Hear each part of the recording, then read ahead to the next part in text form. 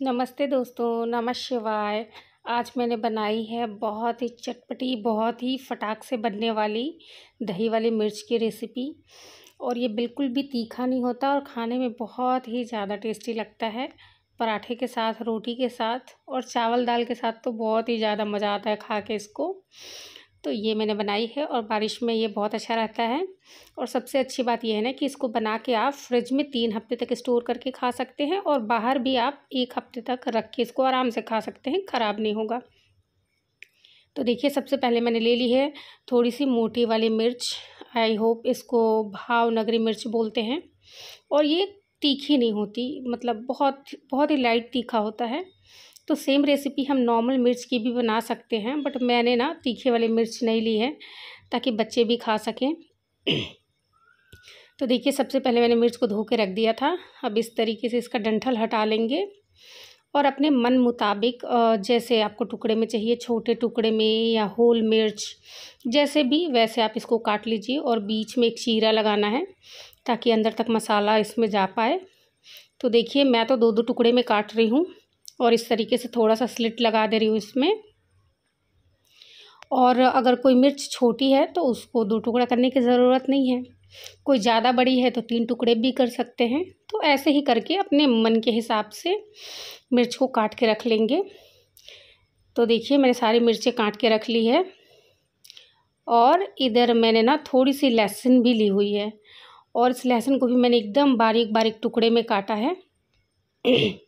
गला ख़राब है तो प्लीज़ इग्नोर करिएगा। तो इधर मैंने चढ़ा दिया है कढ़ाई और कढ़ाई में मैंने डाल दिया है सरसों का तेल। तेल गर्म होने के बाद सबसे पहले मैं इसमें डाल रही हूँ सरसों, काली वाली सरसों है ये। आप अगर ये नहीं है तो पीली वाली भी यूज़ कर सकते हैं।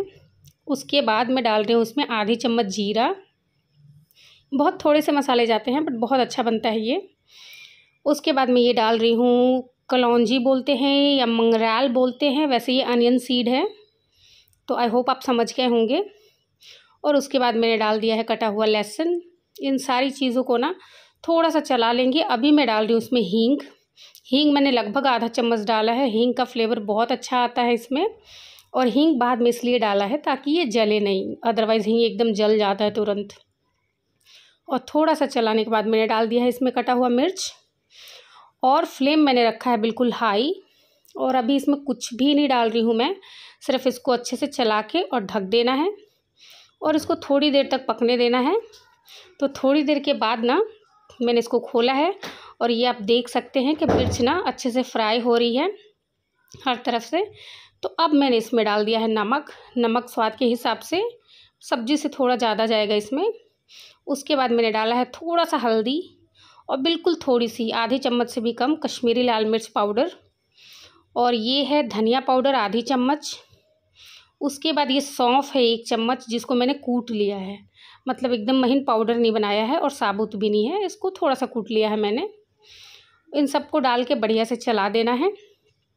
उसके बाद इसमें हम डालेंगे थोड़ा सा अमचूर पाउडर। तो मैंने आधे चम्मच से थोड़ा कम ही लिया है अमचूर पाउडर। ये डाल दिया है। और ये मिर्च एक पाव थी, उसके हिसाब से मैं रेसिपी का मतलब मेज़रमेंट बता रही हूँ। और उसके बाद इसमें डाल देना है दही। दही ये नॉर्मल खाना खाने वाली चम्मच से लगभग पाँच चम्मच है। टेबल स्पून से देखें तो तीन टेबल स्पून के करीब है। और अब दही डालने के बाद ना लगातार चलाना है इसको। तब तक, जब तक दही में ना एक बढ़िया सी उबाल ना आ जाए। तो देखिए, उबाल आने लग गया है।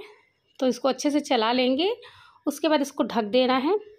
और ढक के अब फ्लेम मैंने कर दिया है मीडियम और इसको थोड़ी देर पकने देना है और थोड़ी देर बाद आप देखिए कितना प्यारा दिख रहा है मिर्च और दही भी काफ़ी कम हो गई है, जो भी उसमें पानी था वो थोड़ा सा इवेपोरेट हो गया है। तो अभी ना, वैसे ये हो चुका है, लेकिन मैं इसको थोड़ा सा और ड्राई करूँगी, थोड़ा सा और भूनूँगी इसको, ताकि स्टोर करने में इजी रहे और जल्दी से ख़राब ना हो। तो इसको मैं चला के वापस से मैं ढक दे रही हूँ। और फिर देखते हैं फाइनल कैसा बनता है। और सच बता रही हूँ, बहुत ही टेस्टी बनता है और अगर कोई सब्ज़ी ना हो ना तो उस टाइम आप इससे काम चला सकते हैं। तो इसलिए इसको ट्राई करिए एक बार। तो देखिए, मैंने थोड़ी देर और ढक के पका लिया था, मैक्सिमम एक मिनट। और ये दही का पूरा पानी सूख चुका है।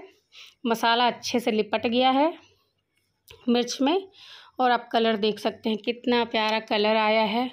और खाने में ये बहुत ही स्वाद होता है, राजस्थान में तो स्पेशली बनता है ये। तो बहुत ही अच्छा रेसिपी है तो आप लोग भी एक बार ज़रूर ट्राई करिएगा। तो अब मैंने गैस कर दिया है बंद और इसको ना थोड़ा सा खुला छोड़ के ढक दूँगी ताकि ठंडा हो जाए। और ठंडा होने के बाद किसी भी एयर टाइट कंटेनर में इसको निकाल के हम फ्रिज में स्टोर कर सकते हैं। अगर कंटेनर कांच का हो तो बेटर है अदरवाइज़ किसी भी बर्तन में रख सकते हैं, कोई दिक्कत नहीं है। तो ये है आज की हमारी दही वाली मिर्च की रेसिपी जो कि बहुत ही फटाक से बनती है, बहुत ही चटपटी होती है। तो एक बार ज़रूर ट्राई करिए और रेसिपी अगर पसंद आई होगी तो प्लीज़ वीडियो को लाइक ज़रूर कर दीजिएगा। कल फिर मिलेंगे नेक्स्ट वीडियो में।